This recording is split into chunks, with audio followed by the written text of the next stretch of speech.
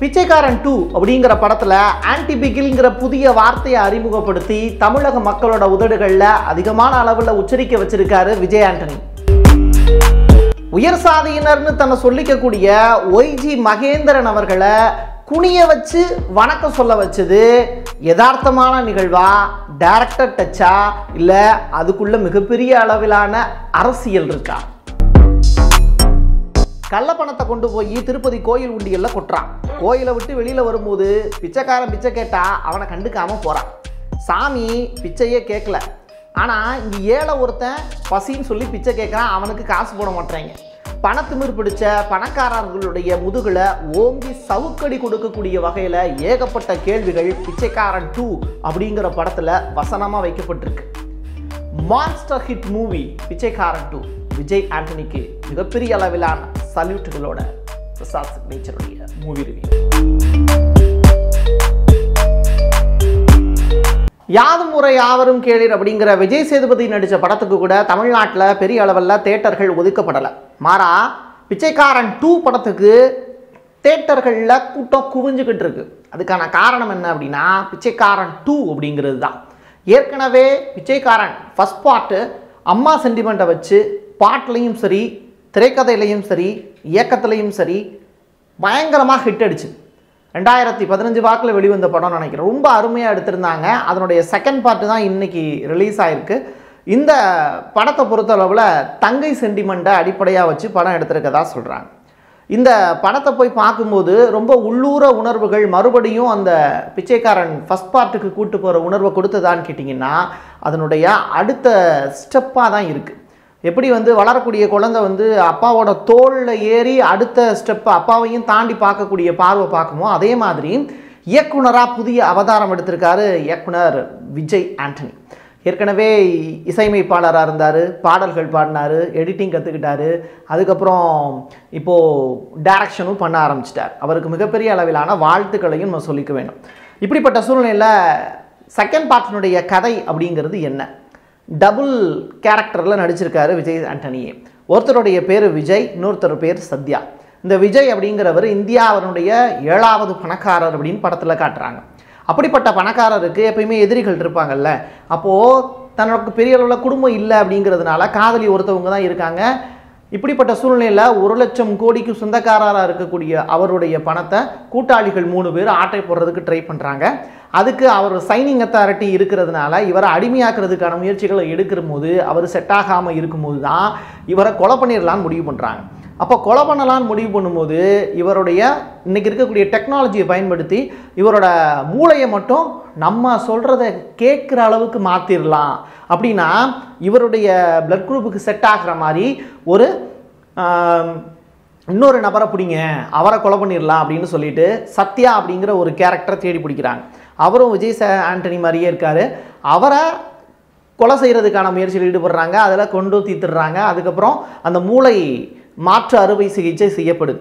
இந்த படத்தில் ரெண்டு முக்கியமான ஒரு விஷய விஷயங்கள் வச்சுருக்காங்க. ஒன்று மூளை மாற்று அறுவை சிகிச்சை மூலிமா ஒரு மனிதனுடைய மூளையை வேற ஒருத்தனுக்கு பொருத்தி அவனை பழைய மனுஷன் செத்து போனான்ல அந்த மனுஷனுடைய மூளை என்ன சொல்லுதோ அதைத்தான் இந்த பாடி கேட்குற மாதிரியான விடயங்களை புதுசாக சொல்லியிருக்காங்க. இன்னொரு விஷயம் குழந்தை கடத்தல். இந்த குழந்தையை கடத்திட்டு போய் என்ன பண்ணுறாங்க எப்படியெல்லாம் வந்து ட்ராவல் பண்ணுறாங்க அப்படிங்கிற ஒரு விடயத்தையும் பாசத்தையும் உள்ளுக்குள்ளே பிணைச்சி ஒரு முழு நீள திரைக்கதையில் எந்த இடத்துலையுமே ஒரு மிஸ் மேட்ச் இல்லாத அளவுக்கு காமிச்சிருக்காங்க. கடைசியாக கோட் சீன் மட்டும்தான் ஒரு சின்ன ஒரு தொய்வு இருக்கே தவிர படம் முழுவதுமே ரொம்ப அழகாக ப்ளே பண்ணியிருக்காங்க. திரைக்கதையை நடத்திட்டு போகக்கூடிய அந்த வேகம் அப்படிங்கிறது கொஞ்சம் கூட குறையலை. அதே நேரத்தில் ரெண்டு பாடல்கள் ரொம்ப அருமையாக இருக்குது ஒன்று தங்கச்சி சென்டிமெண்ட் இருக்கக்கூடிய பாடல் இன்னொன்று வந்து ஒரு குத்து சாங் மாதிரி ஒன்று வச்சுருக்காங்க. அதுக்கப்புறம் லவபிள் சாங் ஒன்று வச்சுருக்காங்க. இது எல்லாமே படத்தில் இருக்குது அப்படிங்கிறதுனால படம் வந்து ரொம்ப சுவாரஸ்யமாகவே போகுது. படத்தினுடைய ஃபஸ்ட் ஹாஃப்லையே தன்னுடைய எதிரிகள் எல்லாத்தையுமே கொன்று தீத்துடுறாரு சத்யா. ஏன் அப்படின்னா இந்த மூளை மாற்று அறுவை சிகிச்சை பண்ண சத்யாவுக்கு அவர் ஒரு பிச்சைக்காரர். ஸோ பிச்சைக்காரனை வந்து பணக்காரன் ஆகிறதுக்கு சம்மதிக்கிறதுக்கு வந்து எதிரிகள் ட்ரை பண்ணும்போது எனக்கு அதெல்லாம் ஒத்து வராது அப்படின்னு சொல்கிறார் இப்படிப்பட்ட சூழ்நிலையில் தான் எதிரிகளுக்கும் சத்யாவுக்கும் இடையில நடந்த சண்டையில் சத்யா எதிரிகளை கொலை பண்ணி ஃபர்ஸ்ட் ஆஃப் அதோட முடிஞ்சிருது. என்னையா எதிரிகள் எல்லாத்தையுமே இவரே கொண்டு முடிச்சிட்டாரு அப்போ வில்லன் யாருமே இல்லையா படத்தில் அப்படின்னு சொல்லும்போது செகண்ட் பார்ட்டில் தான் விஜய் ஆண்டனி தன்னை ஒரு சூப்பர் இயக்குனராகவும் ஒரு பொதுநலவாதியாகவும் கம்யூனிஸ்டாகவும் தன்னை காமிச்சிருக்காருங்கிற மாதிரி திரை விமர்சகர்கள் சொல்கிறாங்க அதுலேயும் முக்கியமாக உயர் சாதியினராக தன்னை சொல்லப்படக்கூடிய ஒய்ஜி மகேந்திரன் அவர்களை குனிய வச்சு வணக்கம் சொன்ன இடத்துல அவர் எதனால் அந்த சீன் வச்சாருன்னு தெரில ரொம்ப அட்டகாசமான சீனு தேட்டரில் எதுக்குடா கை தட்டுறாங்கன்னு சொல்லி திரும்பி பார்க்கும்போது ஒய்ஜி மகேந்திரன் விஜய் ஆண்டனிக்கு குனிஞ்சு வணக்கம் சொல்கிறார் இந்த குனிஞ்சு வைக்க வணக்கம் வைக்கக்கூடிய பழக்கம் அப்படிங்கிறது ஒரு குறிப்பிட்ட இனத்துக்கு இருக்குது அப்படிங்கிறத சூப்பராக அவர் காமிச்சிருப்பார். அப்படிப்பட்ட அந்த இனம் வந்து தனக்கு தேவையான வேலைகள்லாம் செஞ்சு எப்படி பாஸுக்கு நெருக்கமாக இருக்காங்கங்கிற ஒரு விடயத்தையும் காமிச்சிருப்பார். இது எல்லாத்தையும் தாண்டி ஹீரோயினாக இருக்கக்கூடிய காவ்யா அவங்க ரொம்ப அழகாக நடிச்சிருக்காங்க. இந்த படத்தில் அவங்களுக்கு பெரிய லெவலில் பார்ட் அப்படின்னு இல்லாட்டியும் ஆத்தென்டிக்காக ஒரு முக்கியமான சீன் எல்லாத்துலேயுமே காவ்யா அவங்களுடைய டிசிஷனும் வந்து இம்பார்ட்டண்ட்டாக இருக்கிற மாதிரி அந்த ரோலுக்கு வந்து இம்பார்ட்டன் கொடுத்துருக்காங்க. ப்ரொடியூசராக அறிமுகமாயிருக்காங்க விஜய் ஆண்டனுடைய ஒய்ஃப் பாத்திமா. அவங்க ரொம்ப அழகாக வந்து இந்த ப்ரொடக்ஷன் வேலையெல்லாம் பார்த்துருக்காங்க. எடிட்டிங்கில் விஜய் ஆண்டனிக்கு ஹெல்ப் பண்ணியிருக்காங்கன்னு சொல்கிறாங்க ஸோ தயாரிப்பு வேலைகள் எல்லாத்தையும் பார்த்துக்கிட்டு விஜய் ஆண்டனிக்கு பெரிய லெவலில் உதவி செஞ்சதுனால தான் இந்த படம் பெரிய லெவல் சக்ஸஸ் ஆயிருக்கு அப்படின்னு சொல்லலாம். சக்ஸஸ் ரேட் அப்படிங்கிறது பிரம்மாண்டமான ஒரு வெற்றி ஒரு மான்ஸ்டர் ஹிட் அப்படின்னு தான் சொல்லணும். ஏன்னா இந்த படத்தினுடைய ஒளிப்பதிவு அப்படிங்கிறது ஓம் நாராயணன். அவர் ரொம்ப அழகாக பண்ணியிருக்கார். குறிப்பாக வந்து துபாய் பகுதிகளில் எடுத்த அந்த ஒளிப்பதிவுகள்லாம் கட்டடங்களில் காமிக்கும் போது அவ்வளோ பிரம்மாண்டம் இருக்குது கார் வந்து பயணிக்கக்கூடிய காட்சியாகட்டும் ஒரு பாம்பை வந்து திரையில காமிக்கக்கூடிய காட்சியாகட்டும் பாலைவனத்தை திரையிட்டு காண்பிக்கக்கூடிய விடயங்களாகட்டும் இது எல்லாமே ரொம்ப அழகாக நேச்சுரலாக வந்து கேமராஸ்லாம் அதிநவீன கேமரா பயன்படுத்தியிருக்காங்கன்னு திரையில பார்க்கும்போதே அந்த ட்ரீட்டாக இருக்குது விஷுவல் ட்ரீட்டாக இருக்குது அப்படின்னு தான் சொல்லணும். இப்படி வந்து போயிட்டு இருக்கக்கூடிய நேரத்தில் தான் சத்யா அப்படிங்கிற அந்த இன்னொரு கேரக்டருடைய கடந்த கால வரலாறு என்ன அப்படின்னு சொல்லி பார்க்க வேண்டியது இருக்குது அவருக்கு ஒரு தங்கச்சி இருக்காங்க. அந்த தங்கச்சி வந்து சின்ன வயசுலேயே வந்து காணாமல் போயிடுறாங்க.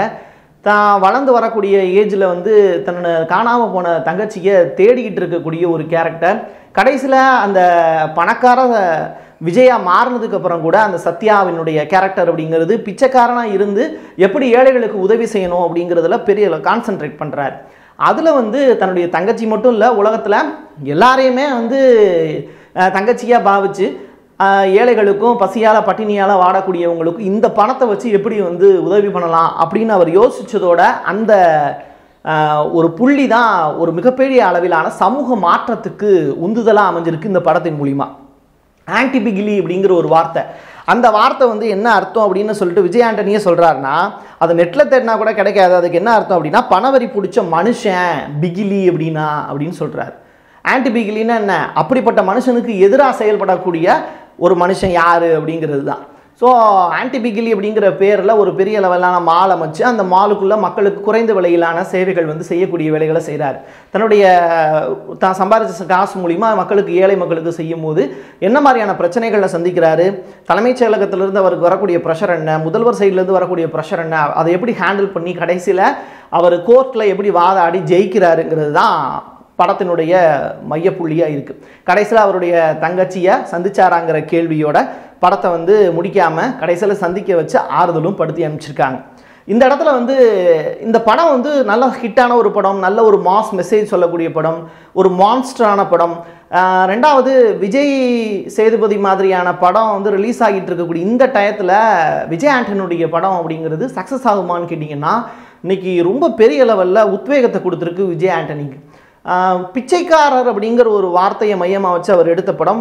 இப்போ நாட்டில் எவ்வளவு பிச்சைக்காரங்க இருக்காங்கங்கிற கேள்வியை கேட்க வச்சிருக்கு. அழுக்கு சட்டையோட தினந்தோறும் நம்ம கோயில்களுக்கோ நம்ம வீட்டை விட்டு கடந்து வெளியில் போகும்போதோ சந்திக்கக்கூடிய ஒரு மனிதராக நிச்சயமாக அம்மா தாயே அப்படின்னு நம்ம இந்தியாவில் கேட்கக்கூடிய ஒரு பிச்சைக்காரனை நீங்களும் சந்திச்சிருப்பீங்க நானும் சந்திச்சிருப்பேன். அப்படி நான் ரெண்டாயிரத்தி பதினேழு பதினெட்டு வாக்கில் வந்து ஒரு தனியார் தொலைக்காட்சியில் வேலை பார்க்கும்போது உயர்திரு பிச்சைக்காரர்கள்னு சொல்லிட்டு ஒரு அரை மணி நேரத்துக்கான டாக்குமெண்ட்ரி பத்து நாள் உழைப்பின் அடிப்படையில் எடுத்தேன். என்னுடைய உடல் வாசம் பூரா வந்து பிச்சைக்காரர்களோட பழகி பழகி பிச்சைக்காரர்களுடைய ஸ்மெல்லே என் உடம்புல அடிச்சுது. என் கூட பணியாற்றின கேமராமேன் ஸ்ரீராம் வந்து சொல்லியிருந்தார் இன்றைக்கி அவர் நல்ல ஒரு தொலைக்காட்சியில் ஒர்க் பண்ணுறாரு பெங்களூரில். அப்படிப்பட்ட நல்ல ஒரு கேமராமேன் கிடச்சதுனால தான் அந்த டாக்குமெண்ட்ரிலாம் எனக்கு சூப்பராக பண்ண முடிஞ்சுது. அந்த பையன் முடிச்சுட்டு அந்த பத்து நாள் முடிச்சுட்டு அடுத்த ஒரு ஒர்க்குக்குன்னு சொல்லிட்டு செக்ரட்டேட்டுக்கோ கோர்ட்டுக்கோ வந்து ஒர்க்குக்காகன்னு சொல்லிட்டு போகும்போது ஆனால் இன்னமும் எனக்கு அந்த பிச்சைக்காரங்களோட ஸ்மெல்லு வந்து என் உடம்புல இருக்கிற மாதிரியே ஃபீலாக இருக்குண்ணே. இப்படி ஒரு ஃபீலை வந்து என்னோடய ஒர்க்கிங் டயத்தில் இது மாதிரி நான் அனுபவிச்சதே இல்லை. ஒரு இடத்துக்கு போனேன் அப்படின்னா ஹாஸ்பிட்டல் போனால் கூட அந்த ஸ்மெல் வந்து குளிச்சு ஒன்று போயிடும். பட் வந்து பிச்சைக்காரங்க கூட பத்து நாள் ட்ராவல் பண்ணது எனக்கு இன்னமும் வந்து அந்த ஃபீல் வந்து இருந்துக்கிட்டே இருக்குது அப்படின்னு. இதுதான் ஒரு டாக்குமெண்ட்ரி ஏற்படுத்தக்கூடிய ஒரு தாக்கம். ஒரு கேமராமேனுக்கு பிச்சைக்காரங்க கூட போய் பழகக்கூடிய அனுபவத்தை கொடுத்து அவங்க கூடயே இருந்து இரவு பகலாக வந்து இருந்து நிறையா டேட்டாஸை வந்து கலெக்ட் பண்ணோம். அவங்களுடைய வாழ்வியல் எல்லாத்தையும் படம் பிடிச்சோம். அப்படிப்பட்ட ஒரு பெரும் பாக்கியத்தை தனியார் தொலைக்காட்சி ஒன்று கொடுத்தது. எனக்கு அதுக்கு ரொம்ப மிகப்பெரிய அளவிலான ஒரு மகிழ்ச்சி. அதை வந்து ஒரு கேமராமேன் வந்து ஓப்பன் டாக்காக வந்து என்கிட்ட சொல்லும்போது அந்த டாக்குமெண்ட்ரியினோட சக்ஸஸை என்னால் உணர முடிஞ்சுது. சரி இவ்வளவு சொன்னீங்க அந்த டாக்குமெண்ட்டில் என்ன பண்ணியிருக்கீங்க அப்படின்னு சொல்லி கேட்டிங்க அப்படின்னா நிறையா டேட்டாஸ் எடுத்திருந்தோம் அதில். அதில் வந்து ரெண்டாயிரத்தி பதினஞ்சில் மாநிலங்களவை உறுப்பினர் ஒருத்தர் சொல்லக்கூடிய டேட்டா அடிப்படையில் நாலு லட்சத்தி பதிமூணாயிரத்தி அறுநூற்றி எழுபது பிச்சைக்காரங்க இந்தியா முழுவதும் இருக்காங்களாம். ரெண்டு லட்சத்தி இருபத்தி ரெண்டாயிரம் ஆண் பிச்சைக்காரர்களும் ஒரு லட்சத்தி தொண்ணூத்தாறாயிரம் பெண் பிச்சைக்காரர்களும் இருக்கிறதா? ரிப்போர்ட் சொல்லுது. ஒரு லட்சத்தி அறுபத்தைந்தாயிரம் பேர் இதில் அறுபது வயதை கடந்தவர்கள் அப்படின்னு சொல்லிட்டு ரிப்போர்ட் சொல்லுது. மேற்கு வங்கத்தில் மட்டும் எண்பத்தோராயிரம் பிச்சைக்காரங்க இருக்காங்களாம். உத்தரப்பிரதேச மாநிலத்தில் அறுபத்தஞ்சாயிரம் பிச்சைக்காரங்க இருக்காங்களாம். பீகார் மாநிலத்தில் இருபத்தி ஒன்பதாயிரத்தி எழுநூத்தி இருபத்தி மூணு பிச்சைக்காரங்க இருக்காங்களாம். மத்திய பிரதேசத்தில் மட்டும் இருபத்தி எட்டாயிரத்தி அறுநூத்தி தொண்ணூத்தஞ்சு பிச்சைக்காரங்க இருக்காங்களாம். அதுக்கப்புறம் நம்ம டில்லி தலைநகரில் ரெண்டாயிரத்தி நூற்றி ஏழு அப்படின்னு சொல்கிறாங்க இது எல்லாமே இன்றைக்கி தேதிக்கு வளர்ந்துருக்கா கம்மியாக இருக்கா அப்படிங்கிறது இனிமேல் கிடைக்கக்கூடிய டேட்டாவை வச்சு தான் சொல்ல முடியும். யூனியன் பிரதேசத்தில் வெறும் லட்சத்தீவு பகுதியில் ரெண்டே ரெண்டு பிச்சைக்காரங்க மட்டும் இருக்கிறாங்கன்னு தகவல் கிடச்சிருக்கு. தமிழ்நாட்டில் ஆயிரத்தி தொள்ளாயிரம் பிச்சைக்காரங்க இருக்காங்களாம் தினந்தோறும் நீங்கள் சந்திக்கக்கூடிய உங்கள் தெருவை விட்டு வெளியில் வரும்போது நீங்கள் ஒரு பிச்சைக்காரனை சந்திக்கிறாங்க சந்திக்கிறீங்க அப்படின்னா அப்போ அதனுடைய எண்ணிக்கை அப்படிங்கிறது இன்றைக்கி தேதிக்கு கூடி இருக்குமே தவிர குறைஞ்சிருக்கிறதுக்கான வாய்ப்பே கிடையாது. ரெண்டாயிரத்தி பதினொன்று மக்கள் தொகை அடிப்படையில் தான் இதை கண்டுபிடிச்சிருக்காங்க. ஏன்னா அதுக்கப்புறம் மக்கள் தொகை கணக்கெடுப்பு அப்படிங்கிறது நடத்தப்படலைங்கிறது உங்களுக்கும் தெரியும் எனக்கும் தெரியும். அதுக்கப்புறம் பிச்சை எடுத்த முதல்வர் பிச்சை பிச்சை எடுத்த முதல்வரோட நிவாரண நிதிக்கெலாம் வந்து கொரோனா பீரியடில் வந்து நிவாரண உதவி செஞ்ச பிச்சைக்காரங்களும் நம்ம நாட்டில் இருக்காங்க. அவங்களுக்குலாம் வந்து நம்ம பெரிய லெவலில் வணக்கத்தை சொல்லணும். ஏன்னா நாட்டில் பெரிய பெரிய பணக்காரங்க இருக்காங்க அவங்க கூட காசு கொடுக்கறதுக்கு தயங்குறாங்க. ஆனால் தான் பிச்சை எடுத்து கை நீட்டி பிச்சை எடுக்கிறது எவ்வளோ கஷ்டம். அப்படிப்பட்ட அந்த பிச்சையை எடுத்து க- கடைசியில் வந்து ஒரு முதல்வருக்கு அந்த பணத்தை அனுப்பி வைக்கிறதுக்கு எவ்வளோ தாராள மனசு வேணும்? தாராள மனசுடையவங்க பிச்சை கொடுக்கறதுனால தான் வாழவே செய்கிறான் அப்படிப்பட்டவன்ட்ட தாராள குணம் இருக்கிறதுனால தான் அவன் வந்து முதல்வருடைய நிவாரண நிதிக்கு பணத்தை அனுப்ப முடியுது. நாட்டில் பணக்கார பிச்சைக்காரங்களும் நிறைய பேர் இருக்காங்க. இப்போ பிச்சைக்காரன் அப்படிங்கிற படம் பார்த்துட்டோம். அதில் ஒருத்தன் பணக்காரனாக இருக்கான் இன்னொருத்தன் பிச்சைக்காரனாக இருக்கான்னு சொன்னோம்ல. அதே மாதிரி இந்தியா முழுவதும் எவ்வளோ பணக்கார பிச்சைக்காரர்கள் இருக்காங்கன்னு தெரிஞ்சுக்கணும்ல. அந்த வகையில் பாரத் ஜெயின் அப்படிங்கிற ஒருத்தர் மும்பையை சேர்ந்தவர் தான் இந்தியாவிலேயே பணக்கார பிச்சைக்காரன்னு சொல்லிட்டு லிஸ்ட் எடுத்திருக்காங்க. அவர்கிட்ட வந்து எழுபது லட்ச ரூபாய் மதிப்பீட்டில் வீடே இருக்குதுன்னு சொல்கிறாங்க அது மட்டும் இல்லாமல் ஜூஸ் கடை வச்சு தான் பொழப்பு நடத்துகிறாரு அவர் பொழப்பு நடத்தலை. ஒருத்தருக்கு ஜூஸ் கடை வச்சு கொடுத்து அவரை வந்து வேலை வாங்கிட்டு இருக்காரு. ஆனால் இவர் பார்க்கக்கூடிய தொழில்ங்கிறது பிச்சை எடுக்கிறது தான் இவருடைய சொத்து மதிப்பு எவ்வளோ தெரியுமா? ரெண்டு கோடி ரூபாய் இவர் மும்பையில் இருக்கார். அதுக்கப்புறம் கிருஷ்ணகுமார் லீலே அப்படின்னு சொல்லிட்டு ஒருத்தர். டெய்லி ரெண்டாயிரத்தி ஐநூறுரூவா சம்பாதிப்பாராம். மும்பையில் நாலா சோப்ரா அப்படிங்கிற இடத்துல தான் இவரோட வீடு இருக்குது குடும்பத்தோடு வந்து சேர்ந்து பிச்சை எடுக்கக்கூடியது தான் இவருடைய தொழிலாக இருக்குன்னு சொல்கிறாங்க அதுக்கப்புறம் சம்பாஜி காலி அப்படின்னு. டெய்லி வந்து ஆயிரத்தி ஐநூறுரூவா சம்பாதிக்கக்கூடிய நபர். இவர் கையை நீட்டி பிச்சை எடுக்கும் போதே வந்து ஐம்பது நூறு அப்படின்னு தான் தட்டில் விழுகுமா ஒரு நாளைக்கு நாலு மணி நேரத்தை தாண்டி வேலை பார்க்க மாட்டாராம். இப்படிப்பட்டவர் வந்து விராட் பகுதியில் வந்து மும்பையோட விராட் பகுதியில் வசிக்கிறாரு. நாட்டினுடைய மிகப்பெரிய அளவிலான பிச்சைக்காரர்கள் பணக்கார பிச்சைக்காரர்கள் எல்லாமே மும்பை பகுதியில் வசிக்கிறதா சொல்கிறாங்க முப்பத்தி நாலு லட்ச ரூபாய் இவருடைய சொத்து மதிப்புன்னு சொல்கிறாங்க பிச்சைக்காரங்க நிறையா பேர் ஒரு எலெக்ஷனில் நின்று ஜெயிச்ச வரலாறுலாம் நம்ம நாட்டில் இருக்குது ஒரு வார்டு கவுன்சிலரில் தொடங்கி மாவட்ட செயலாளர்கள் வரைக்கும் பெரிய அளவிலான போஸ்டிங்கில் போய் நின்றவங்கெல்லாம் பிச்சைக்காரங்களாக இருந்து பெரிய அரசியல்வாதியாக மாறி இருக்காங்கன்னுலாம் சொல்கிறாங்க அவங்களுடைய லிஸ்ட்டெல்லாம் வெளியிட்டால் என்னை அடிப்பாங்க. ஸோ பட்டதாரி பிச்சைக்காரங்களும் இருக்காங்க. படித்தவங்களும் பாப்பா பிச்சை எடுக்கிறாங்க அப்படின்னா டிஜிட்டல் இந்தியாவில் என்ன வேணாலும் நடக்கும் அப்படிங்கிறேன். ஸோ மூவாயிரத்தி பத்து பேர் நாட்டில் படித்த பட்டதாரி பிச்சைக்காரங்க இருக்காங்களாம். எவ்வளவு? மூவாயிரத்தி பத்து பேர். இருபத்தி ஒரு சதவீதம் பேர் இதில் பட்ட மேற்படிப்பு படித்தவங்க பிஎஸ்சி எல்லாம் முடிச்சுட்டு அடுத்து எம்எஸ்சி படிப்பாங்கல்ல அந்த மாதிரி கேட்டகரியில் இருக்கிறவங்க இருபத்தி ஒரு சதவீதம் பேரா. இன்ஜினியரிங் படித்தவங்க நம்ம நாட்டில் இன்ஜினியரிங் படித்தா பெரிய பெரிய வேலை கிடைக்குங்கிறாங்க. ஆனால் இன்ஜினியரிங் படிச்சுட்டு நானூற்றி பத்து பேர் பிச்சை தான் எடுக்கிறாங்களா இந்தியாவில் ஆர்ட்ஸ் அண்ட் சயின்ஸ் படித்தவங்க ரெண்டாயிரத்தி இரநூறு பேர் தன்னுடைய பட்டம் வாங்கிட்டு பிச்சை எடுத்துக்கிட்டு இருக்காங்களா நாட்டில். பிச்சை எடுத்துக்கிட்டு இருக்காங்க. நினைக்கிற மாதிரி கிடையாது. வேலை இல்லாமல் கஷ்டப்படலை. பிச்சை எடுத்து சாப்பிட்டுக்கிட்டு இருக்காங்க. படித்த பட்டதாரிகள். அதுதான் ரொம்ப முக்கியமானது.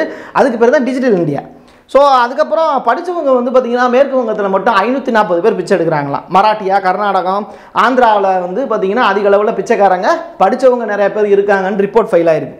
இப்படி பிச்சை பிச்சைக்காரங்களுக்கு படித்த பிச்சைக்காரங்களை சொல்லிட்டேன் பணக்கார பிச்சைக்காரர்களை சொல்லிட்டேன் அவங்க எந்தெந்த ஏரியாவில் பிச்சை எடுக்கிறாங்க எவ்வளோ பேருன்னு சொல்லிட்டேன் அவங்களுக்கு என்ன லாங்குவேஜ் தெரியும் அப்படிங்கிறது ஒரு முக்கியமான விஷயம் இருக்குல்ல. இப்போ தமிழ்நாட்டில் பிச்சை எடுக்கிறாங்கன்னா ஒரு பிச்சைக்காரனை நேரடியாக சந்திக்கும் போது அவர் என்கிட்ட இங்கிலீஷ் பேசினார். அவர் அளவுக்கு எனக்கு இங்கிலீஷே பேச தெரில அப்போது அந்த நேரத்தில் வந்து நான் தனியார் தொலைக்காட்சியில் வந்து அந்த வீடியோவை பதிவு பண்ணும்போது அந்த மனுஷன் என்கிட்ட இங்கிலீஷில் பேசினார். இது ரொம்ப எனக்கு இன்ட்ரெஸ்டிங்காக இருந்த ஒரு விஷயம். என்னப்பா எப்படி இங்கிலீஷ் பேசுகிறீங்க அப்படின்னா அதெல்லாம் ஊர் ஊராக போகிறோம் லாங்குவேஜ் ஒன்றும் பிரச்சனை இல்லை. எந்த யார்கிட்ட என்ன பேசுனா ரூபா போடுவாங்களோ அவங்கக்கிட்ட அந்த மொழி பேசிக்கிறது தான் அப்படின்னு. ஸோ பிச்சைக்காரருக்கு மல்டி லெவல் லாங்குவேஜ் தெரியும் அப்படிங்கிறதையும் இந்த இடத்துல சொல்ல வேண்டிய தேவை இருக்குது அதுக்கப்புறம் பிச்சை எடுக்கிறது குத்தம் இல்லையா பிரசாத் அப்படின்னு கேட்டிங்கன்னா அது சட்டப்படி குற்றம். ஒரு போலீஸ்காரங்க நீங்கள் பிச்சை எடுத்தீங்கன்னா உங்களை தட்டி கொடுக்கறத விட்டுட்டு ஐயோ சாமி அப்படின்னு சொல்லி பிச்சை போடுறத விட்டுட்டு அவர் உங்களை அரெஸ்ட் பண்ணுறதுக்கான வாய்ப்பு இருக்குது நம்ம இந்தியாவில் இந்தியாவை பொறுத்தளவில் பிச்சை எடுக்கிறதுங்கிறது தண்டனைக்குரிய ஒரு குற்றம். நான் வந்து திருவள்ளூர் பக்கத்தில் மேல்பாக்கம்னு சொல்லிட்டு ஒரு இடம். அங்கே தான் வந்து இந்த பிச்சைக்காரங்களுக்கெல்லாம் மறுவாழ்வு கொடுக்கக்கூடிய ஒரு மையம் இருக்குது அங்கே ஒரு ஸ்டிங் ஆப்ரேஷனுக்காக போயிருந்தேன். அப்போது பத்து ஏக்கரில் இருக்கக்கூடிய ஒரு ஏரியா. அதில் புல் பூண்டுகளோடு சேர்த்து வந்து பெரிய பெரிய மரங்கள்லாம் சேர்த்து ஒரு மனநல காப்பகம் மாதிரி வந்து வச்சுருக்காங்க. அந்த இடத்துல போய் பார்க்கும்போது காவலாளிகள் ரெண்டு பேர் தான் இருக்காங்க. ரெக்கார்ட் அடிப்படையில் நூற்றி நாற்பது பேர் அங்கே பிச்சைக்காரங்க இருக்காங்கன்னு சொல்கிறாங்க அவங்களுக்குலாம் என்ன பண்ணுவீங்க அப்படின்னு கேட்டிங்கன்னா அவங்கள கூப்பிட்டு வந்து சாப்பாடு போடுவோம் எல்லாம் பண்ணுவோம். ஆனால் மறுபடியும் நான் பிச்சை தான் எடுக்க போகிறேன்னு சொல்லிட்டு இங்கேருந்து தப்பிச்சு போயிடுவாங்க அப்படின்னு சொல்கிறாங்க என்னங்க அப்போ உங்களுக்குலாம் எதுவும் ஃபண்டுலாம் கொடுக்க மாட்டாங்களா? அந்த மறுவாழ்வு மையத்துக்கு அப்படின்னா. ஏங்க பராசக்தி படமே இந்த இடத்துல தாங்க வந்து எடுத்தாங்க. சிவாஜி கணேசன் வந்து நடித்த இடங்க இது அப்படின்னு சொல்லிட்டு அந்த மேல்பாக்கம் மறுவாழ்வு பிச்சைக்காரர்களுக்கான மறுவாழ்வு மையத்தை பற்றி ஏகப்பட்ட ஹிஸ்ட்ரி சொன்னாங்க. உங்களுக்கு வாய்ப்பு இருந்ததுன்னா திருவள்ளூர் பக்கத்தில் ஆவடி தாண்டி மேல்பாக்கம்னு சொல்லிட்டு ஒரு ஏரியா இருக்கும். அந்த ஏரியாவில் போய் பார்த்தீங்க அப்படின்னா பிச்சைக்காரர்களுக்கான மறுவாழ்வு மையம்னு சொல்லிட்டு பத்து ஏக்கரில் இடங்கள்லாம் இருக்குது ஸோ பிச்சைக்காரர்களை பாதுகாக்கிறதுக்குனே அந்த இடம் வச்சுருக்காங்க. எப்படி சென்னையில் கீழ்ப்பாக்கம்னு சொல்லிட்டு இந்த மணநல காப்பகம் இருக்கோ அதே மாதிரி பிச்சைக்காரர்களுக்கான மறுவாழ்வு மையமும் ஒன்று இருக்குது இதெல்லாம் வந்து நம்ம நாட்டு மக்களுக்கு தெரியப்படுத்தணுங்கிறதுக்காக தான் இந்த பதிவு. இப்படிப்பட்ட சூழ்நிலை ஆயிரத்தி தொள்ளாயிரத்தி ஐம்பத்தி நாலில் தான் இந்த பிச்சைக்காரர்களுக்கான மறுவாழ்வு மையம்னு ஒன்று உருவாக்கப்பட்டது.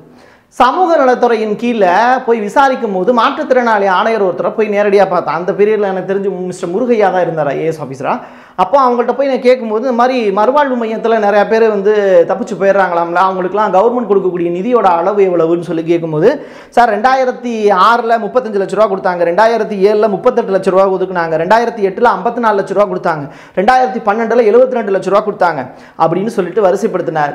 இன்னைக்கு தேதிக்கு மாண்புமிகு முதலமைச்சர் அவர்கள் எவ்வளோ ஃபண்டு ஒதுக்குறாங்க என்ன ஏது அப்படிங்கிற விவரங்கள் எனக்கு இப்போதைக்கு டேட்டா இல்லை. நான் இருக்கிற டேட்டாவை மட்டும் நான் சொல்லிட்டேன்.